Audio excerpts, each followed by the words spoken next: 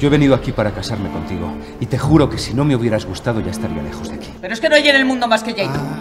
No hay padres, no hay sociedad, no hay conciencia, no hay Dios. You can't break that which isn't yours. No hay en la cristiandad pueblo más ilustre que el nuestro. No estoy hablando de las personas de esta casa, pero sospecho que en esta ciudad está mi enemigo. Aborrezco a mi madre. Señor Don José es una persona de grandes prendas, no puede ser perfecto. Mañana saldré a la calle y a todo el que pase le diré amo. Te Aborrezco. niego a mi hija, te la niego. Pues yo la tomaré. No tomo más que lo que es mío. Por ti no me importa morir. Tú no estás enferma, Rosario, tú no estás enferma.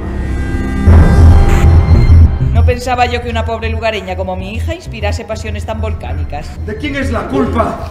¿Mía o de usted?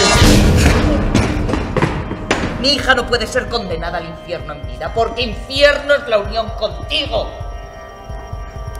Rosario será mi esposa.